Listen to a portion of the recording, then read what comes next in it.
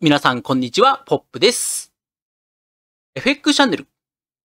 6月3日土曜日。今回は週末スペシャルということで、今週の振り返りと来週のトレードポイントについて解説をしていきます。順番はいつも通りドル円相場から始めまして、ユーロ円、ポンド円、5ドル円、そしてドルストレートのユーロドル、ポンドドル、5ドル米ドルの順番で解説をしていきますので、よろしければ最後までご視聴ください。まず、今週1週間の振り返りをドル円のチャートを拡大して見ていきましょう。こちらですね、ドル円の方は前半部分は移動平均線24の角度、右肩上がりの通り、上昇トレンドということで、まあ、しっかりとね、移動平均線の上側で推移する。まあ、下回っても V 字回復ということで、一時141円の手前まで吹き上げるような状況。でしかしながらですね、この141円のところでダブルトップの、え形をね、見てお分かりの通り。まあ、ここを頂点としまして、その後移動平均線24は右下下がり。ま、ところどころ吹き上げる場面があったものの、基本的には移動平均線の下側の期間が多いということで、下落トレンドに推移しておりましたが、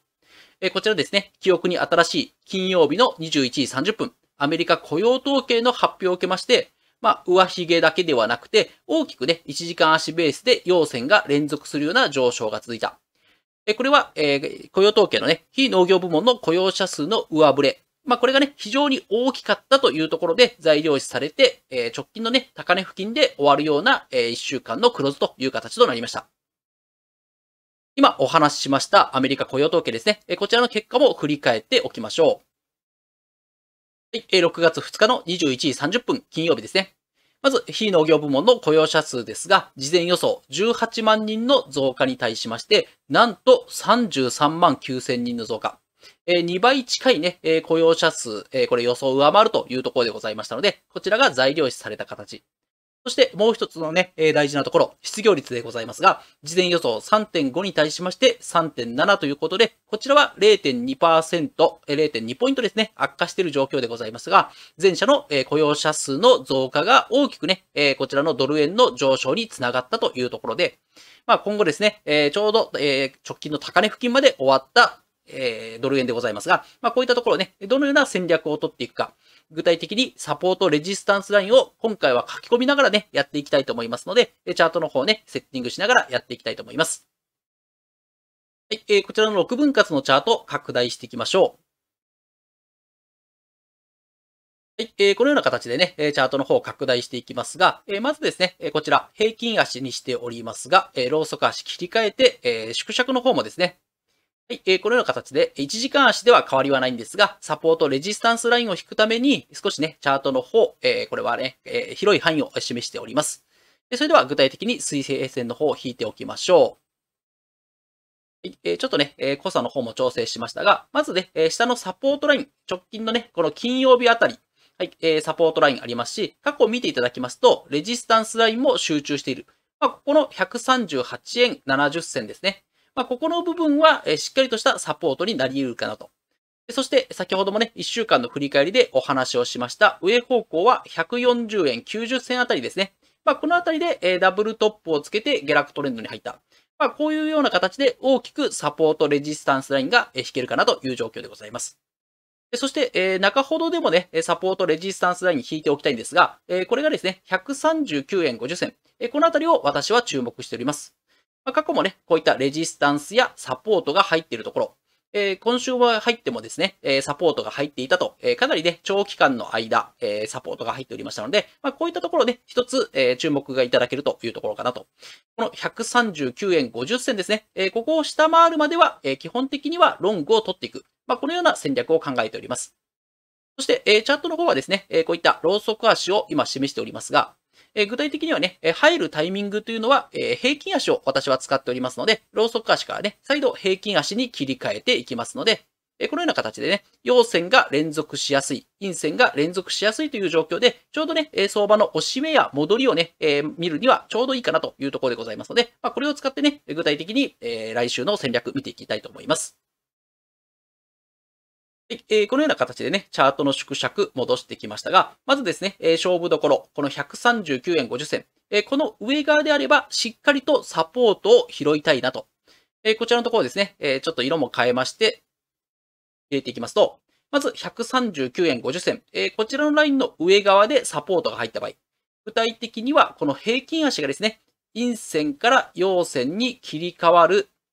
このようなタイミングがあればですね、139円50銭の上側であれば、はい、えーこういったところではね、えーしっかりとロングを取っていく。えーこれをね、え基本路線として考えて、あと、えこちらのロングを取った場合の、え利確ポイントでございますが、直近のね、えダブルトップ。これが見えております。まあ、上のあたりですね、え140円50銭から140円90銭。このあたりで、え利確を狙っていく。えこれをね、メインシナリオとして考えていきたいと思っております。えただ、相場の方はですね、え上に行くだけ、えこれを考えてもね、えどうなるかわからない、え上に行くか、え下に行くかというのはね、わかりませんので、下に行った場合の、えところもね、しっかりカウントしておきましょう。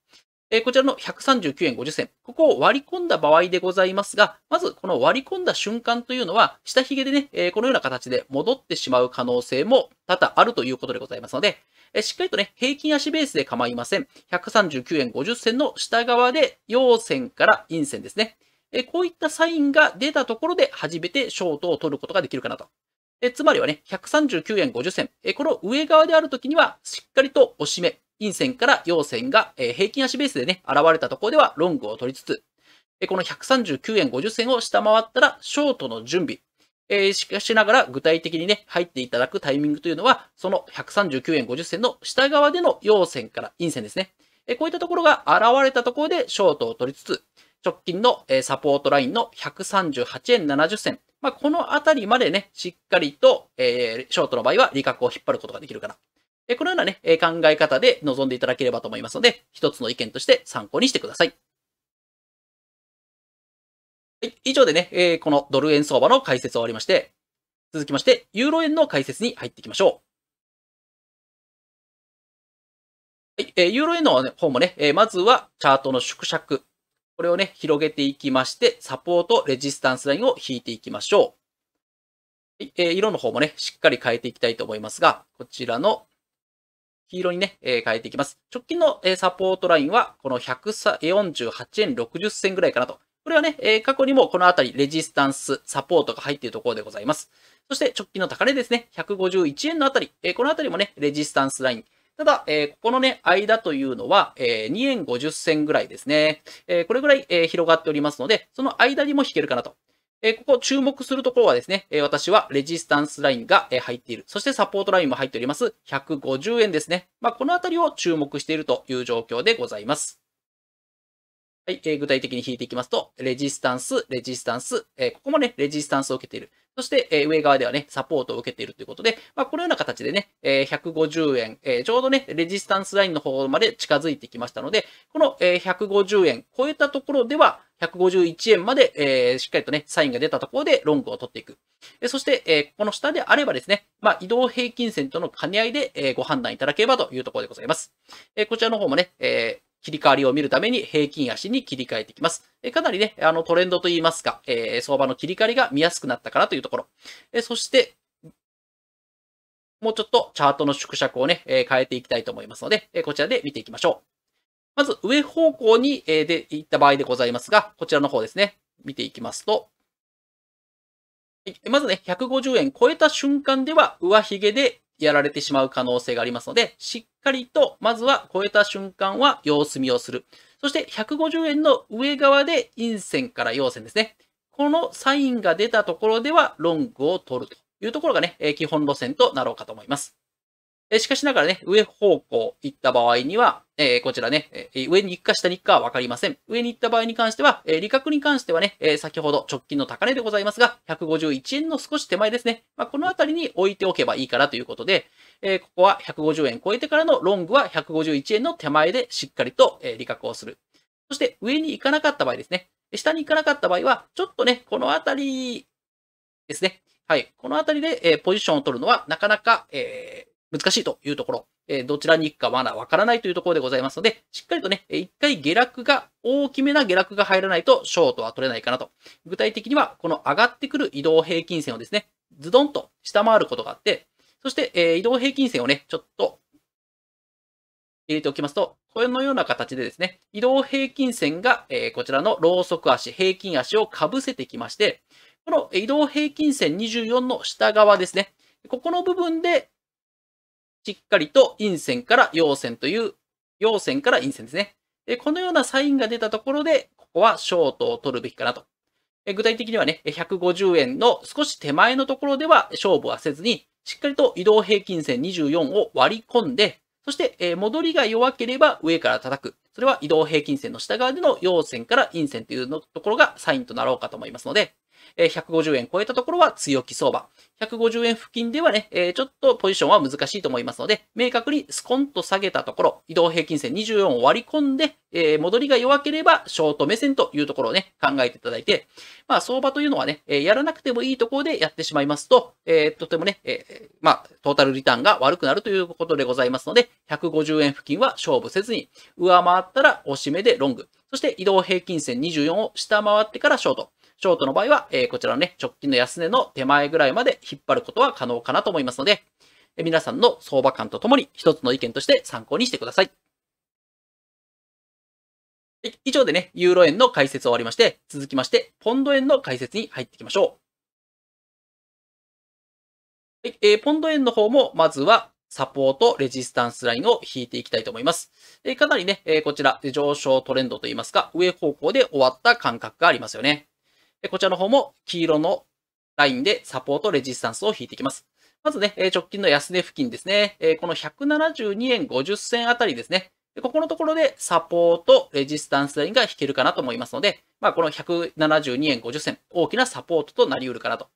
そして、直近のところですね、ちょっと上値の方はもうはみ出ておりますが、その前の段階でね、抑えられていたところ、これが174円というところがね、レジスタンス。まあこれもね、ちょっとはみ出ておりますが、レジスタンス。え直近でもですね、三角の持ち合いのような形で、えこちらは、え上抜けを目指していたというところでございますが、まあ雇用統計を機にですね、えこの174円、明確に抜けてきましたので、基本的には174円、こちらの上側ではロングを狙いつつ、え下側に入った時には、しっかりと、え抑えられたら、頭が押さえつけられたら、ショートを取るという感覚でよろしいかと思いますね。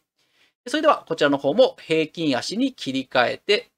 かつですね、チャートの縮尺、少し拡大していきましょう。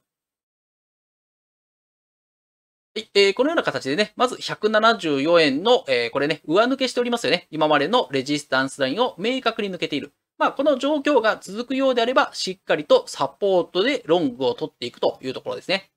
えー、こちらは、えー、他の、ね、通貨ペアでもお話ししましたが、174円の上側での陰線から陽線の切り返しですね。ここではしっかりとロングを狙いつつ、直近ね、上髭が出ているところ、まあ、このあたりまでしっかりと利確を引っ張ることができるんじゃないかというところでございますので、174円の上側での陰線陽線はしっかりとロングを取っていく。ただ、上に行くか、下に行くかはわかりませんので、下に行った場合のパターンも決めておきましょう。こちらのところはね、まあ、移動平均線及び174円。ここをね、下回ったところ、ここで入るのではなく、入ってしまいますとね、下髭でやられてしまうというケースがありますので、ここはしっかりと1時間の平均足ベース、この戻りを待って、戻りが弱いところを確認してショートでしょう。174円の下側での陽線から陰線ですね。このサインが出たところ、まあこうしますとね、移動平均線24の方も、ちょっと色が同じになりますけどね、え被せてくるという形になりますので、174円下回ってから戻りが弱ければ、174円の下側、そして移動平均線24の下側で陽線から陰線。まあ、このサインが出たらショートを取りつつ、まあ、172円50銭まで引っ張れとは言いませんが、173円ぐらいまで利確を引っ張ることができるかなと思いますので、えー、こちらもね、174円を、えー、目線としまして、一つ上側にいればロング目線。えー、下に、えー、行った時には戻りが弱ければショート目線というところでご判断いただければと思いますので、よろしくお願いいたします。以上でね、えポンド円の解説を終わりまして、え続きましてね、えちょっと5ドルの方はこちらのね、画面切り替えていきたいと思いますので、え少しね、お待ちください。続いて5ドル円の解説に入っていきましょう。え5ドルの方もね、まずサポートレジスタンスライン引きたいと思いますので、こちらチャートの方を広げていきます。かなりのね、上昇トレンドで、終わった1週間でございますが、こちらのサポートレジスタンスライン、しっかりとまずは引いていきたいと思います。色の方もね、しっかりと切り替えて、直近の、えー、まず安値でございますが、この、えー、90円50銭あたりですね。まあ、このあたりで、えー、揉み合ったところもあるんですが、サポートが入っている。まあ、その上側でもですね、90円75銭あたりでもしっかりとサポートが入っておりますので、まあ、力強いね、このあたりのサポートラインを上回ったところで力強い上昇につながっていたと。えそして、え91円25銭。まあ、このあたりで抑えられていたところが直近ではあったんですが、え過去のところと、えこちらのね、え金曜日近いというところもね、しっかりと抑えられておりましたが、まあ、ここの上昇を抜けたというところで、え過去のね、ダブルトップも抜けてしまったということで、かなり強いところかなと。これは、え92円30銭ぐらいでございますので、まあ、こういったところでね、引いておけば、まず間違いないかなというところですね。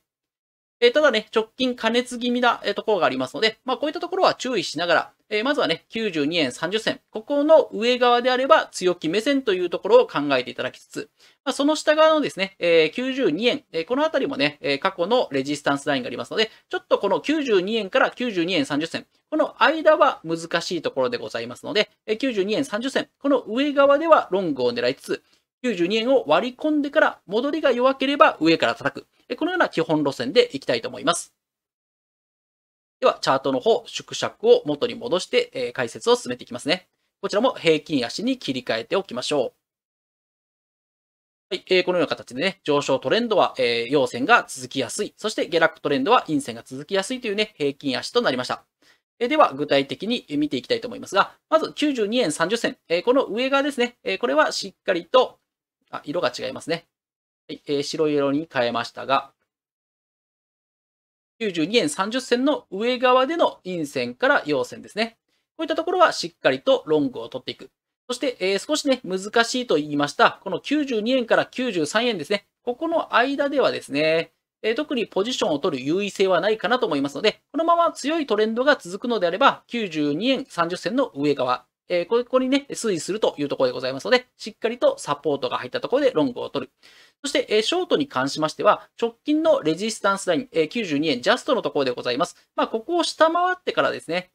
その下側で、戻りが弱ければ上から叩く。まあ、こうなることによって、移動平均線も上方向から被せてくるというところですね。まあ、このような形になるかなというところでございますので、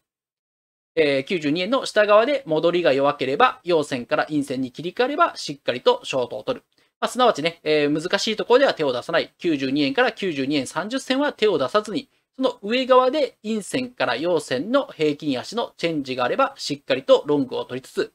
下方向ですね、えー、92円、これを下回ったところでショートの準備をするだけ。そして戻りが弱いという確認をしたところで、しっかりとショートを取る。このような戦略でよろしいかと思いますので、参考にしてください。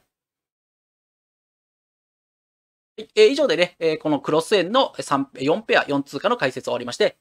続きまして、後半部分のユーロドル、ポンドドル、5ドル、米ドルといったドルストレート3ペア3通貨に入っていきましょう。はいえー、まずこちらはね、ユーロドルでございますが、こちらもサポートレジスタンス引いていきたいと思います。えー、まずですね、こちらのところ、しっかりとチャートの方ですね、えー、見ていきますと、ちょっとね、えー、直近下落トレンドが続いておりましたが、大きくね、反発して、また全戻しというね、えー、難しそうな相場でございます。えこちらの方、えまずサポートレジスタンスラインでございますが、えー、直近の安値ですね。まあ、ちょっとオーバーシュートしておりますが、1.0650。まあ、このあたりでね、サポートが入るからと。そして、高値はちょうど雇用統計前にですね、1.0775付近で引けることができるかなと思いますので、まあ、こういったところ引けると思います。そして、ちょうどですね、サポートラインが集まっているところ、ここの1.07付近ですね。このあたりでクローズするということで、過去もね、この1.07、かなりサポート、そしてレジスタンスも入っていましたよね。まあ、こういったところで推移しておりましたので、まあ、基本線としましては、直近のレジスタンスは1.0775、そして下方向は1.0650というところ。そして、このね、1.07不直切りですね。このジャストのところで具体的なトレードの判断をしていただければと思います。こちらも平均足に切り替えて、どのようなところでね、戦略を取るか見ていきたいと思います。チャートの方拡大していきましょう。はいえー、このような形で、えー、どのようにね、勝負していくか、えー、こちらも色を、白色を使って示していきますと、まずね、1.07、まあ、この上側であれば、陰線から陽線でサポートが入りやすいところでございますので、しっかりとロングを取っていく。まあ、しかしながらですね、この移動平均線が上方向から下がってきますので、あまりね、えこの1.0775まで引っ張るということではなくて、まあ、ほどほどのところですね、1.0725から50、えー、このあたりでね、しっかりと利確はしておいた方がいいかなと。えー、全戻しするのはちょっと厳しいかなというところでございますので、まあ、多少の反発はあろうかと思いますが、大きな反発は期待できない。よってですね、積極的にこのロングというのは狙わなくても良いかなと考えております。そして、えー、肝心なのはね、下方向に行った場合です。えー、まずね、これ反発しても移動平均線24に、えー、これはね、押されてしまった場合、具体的には移動平均線24の下側で陽線から陰線。そして、えこれはね、1.07を次、明確に下回るところですね。ここは走りやすいポイントでございますので、まあ、こういったところをショートを取っていくという手段もありますし、あとは一旦下回ったところですね。下回ってから戻りが弱いところを確認して、この1.07の下側で陽線から陰線ですね。こういったところは絶好のショートのタイミングになろうかと思いますので、ロングのタイミングは1.07の上側での陰線から陽線。まあ、ここで少々を狙いつつ、そこでですね、レジスタンスを受けた場合、移動平均線24上から降ってきますので、そこの下側で陽線から陰線が出て1.07を下回るところ、ここのショートのポイントと、あと、下回った後ですね、戻りが弱いところを確認して、1.07の下側での陽線陰線。まあ、こういったところでね、しっかりショートを狙う。それ以外ですね、この1.07付近でうろうろしていた場合は、特に勝負をする必要はないかなと思いますので、この場合はね、しっかりと勝負をするタイミングを見極めて、そして、下方向ですね、ちょっと言い忘れておりましたが、1.0650。まあ、このあたりでね、ショートの方は利確を狙うことができるんじゃないかと考えておりますので、皆さんの相場感とともに一つの意見として参考にしてください。以上でユーロドルの解説を終わりまして、続きまして、ポンドドルの解説に入っていきましょう。はい、えー、まず、ポンドドルの方もサポートレジスタンスラインを引いていきますが、えー、こちらの方もね、しっかりとチャートの縮尺広げていきたいと思います。でそして、えー、こちらの黄色のラインで直近のサポートラインを確認しますが、まずね、サポートラインとしましては、えー、この大底というところが1.23、えー、このあたりでね、はい、サポート入っておりますが、まあ、直近のね、ここの部分が大事だと思いますね。1.2450付近ですね。はい、ちょうど終わり値付近とも一致しますが、今までのね、このレジスタンスライン、まあ、大きく破りましたけどね、ここ全戻ししてしまった。そして、上髭を伴いながらの、全戻しもありましたので、こういったところを含めますと、この1.2450、こういったところがね、一つ勝負のポイントになろうかと思いますので、ここの上側でロングを狙いつつ、下方向ではショートを狙うというところでよろしいかと思います。それではチャートの方を拡大してポイントを見ていきましょう。そして、えこちらもね、平均足に切り替えていきます。はい、え平均足に切り替えさせていただきました。まあ、しっかりとね、1.2450付近でレジスタンスが効いているかなというところ。えそして、え攻めるところではね、色の方も変えまして、まずこの1.2450、えここのね、上側でしっかりと陰線から陽線。まあ、ちょっとうろうろしながらもね、また陰線陽線が入れば、ロングを取ってもいいかなとは思うんですが、ただね、えこれ全戻ししたというところで、移動平均線24、ここのところが上から降ってきますので、ここもね、え大きく利確を狙う、え直近の利確を狙うというところではなくて、まあ、ほどほどのところで利確をしておかないといけないかなと。えメインとしましては、やはり、え降ってくる移動平均線ですね。ちょっと反発はあり得ますが、えその後でですね、陽線から陰線に移動平均線の下側で切り替わって、まあ、ユーロドルともね、一緒でございますが、この1.2450、ここを下回るところで、しっかりともう一回ね、チャレンジが来たところでは大きく下げるポイントになろうかと思いますので、しっかりと戻りが弱ければ上から叩く。1.2450付近での、えー、こちらね、割り込むところでは、えー、これはショートを狙っていく。そして、えー、1.2450、下回、最初から下回ってしまった場合は、これもね、えー、戻りが弱ければ上から叩く。1.2450の下側での陽線から陰線が現れたところ、こういったパターン、えー、形でですね、えー、しっかりとショートのパターンは1回下回ってからの陽線陰線。えー、1.2450で跳ね返るんですが、移動平均線24の下側で頭を押さえられたところ。まあ、こういったところはね、ショートを取れるかなと。そして、ロングに対しまして、ショートの方はま、まあ、え、足が速いというところもありますし、まあ、直近のね、サポートラインは、え、1.23。そしてちょっとその上側にもですね、1.2350というところがありますが、まあ、この1.2350付近では、えー、落ちる可能性はね、非常に高いというところでございますので、まあ、しっかりとね、ショートの方をメインに考えていただければと思いますので、え、こちらも合わせて参考にしてください。はい、以上でポンドドルの解説を終わりまして、最後に5ドル米ドルの解説に入っていきましょう。はい、5ドル米ドルのところもサポートレジスタンスラインからでございます。チャートの縮尺を変えつつですね、こちらしっかりと、まずはサポートレジスタンスラインを見ていきましょう。はい、直近のサポートのところ0.65ですね。まあ、その下まで行ったところもありますが、えー、そこまでちょっと距離感がありますんでね、え、0.65。これは過去のサポートと直近でもね、サポートが入っているというところ。そして、レジスタンスは0.6650であったんですが、ここね、明確に抜けてしまいました。そして、その後のね、高値というところでは、0.6650付近ですね。これがこのあたりでございますので、まあこういったところがね、直近のレジスタンスラインとなります。ちょっと空中戦でありますが、この間にですね、サポートラインがあって、ちょうどこのね、金曜日の終わりで、ここの部分が合致する0.66ですね。ま、こういったところが引けるかと思いますので、まあ、上は0.6650をターゲットにしつつ、下方向は0.6550ということで、まあ、100ピプスのね、間、ちょうどこの間ぐらいでございますが、0.6600ですね。まあ、こういったところがね、直近のサポートと終値付近ということでございますので、ま、ここを基準に考えた戦略でよろしいかと考えております。えこちらも平均足に切り替えつつ、はい、えー、チャートの縮尺も元に戻していきましょう。では、具体的な、えー、トレードポイントでございます。はい、えー、こちらのね、0.6600ですね。えー、ここのところ、えー、しっかりとね、サポートが入った場合、まあちょっとね、打ち消されておりますが、ここのあたり、移動平均線とも揉み合っておりますが、明確にですね、陰線陽線が月曜日以降現れた場合ですね、ここは1回ロングを取って、0.6650付近で利確を狙っていく。まあ、これを上方向の目線として考えていただきつつ、下方向はね、もうこの移動平均線と0.6600。まあ、ここの部分がね、今、えー、ほぼほぼね、重なっておりますので、ここは割り込んだところでショートの準備をするだけ。そして、えー、戻りが弱く0.6600の下側での陽線から陰線ですね。これが平均足として現れたところではショートを取る。えその場合はね、移動平均線24というのは上方向から被せてくるというね、え状況でございますので、まあ、こういったところ、現れたところ、0.660を割り込んだところでは、ショート目線ですね。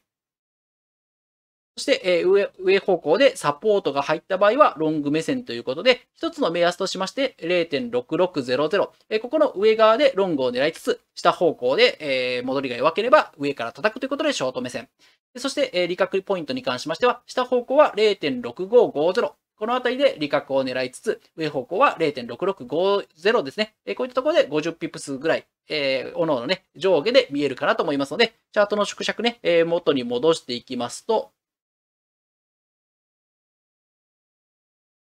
えー、上方向にはね、このレジスタンスラインがありますので、まあ、ここまで利確を引っ張るかどうか、えー、そして下方向は0.6550。まあ、ここまでね、えー、過去のレジスタンスがありますので、サポートになりやすいということで、利確ポイントもしっかりと見ていただきつつ、え、皆さんの相場感とともに参考にしていただければと思います。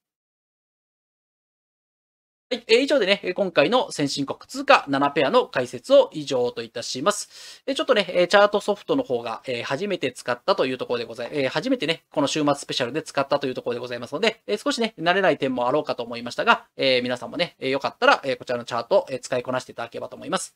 それでは最後までご視聴いただきましてありがとうございました。え私の方はですね、えなかなか新幹線が止まりましてですね、え愛知県に帰れないというところでございますが、皆さんね、良い週末をお過ごしいただければと思います。最後までご視聴いただきましてありがとうございました。あと、週末スペシャルとしましてはね、このシンクマーケッツのゼロスプレッドを利用しましたスキャルピング動画をですね、明日あたりにリリースしたいと思いますので、そちらもご覧ください。ポップがお送りしました。